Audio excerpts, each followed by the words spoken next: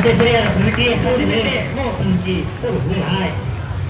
いや疲れる曲はその通りに表現してもあえて俺なくてもこっちの方で感じないねまずね鈴木さんパフォーマンス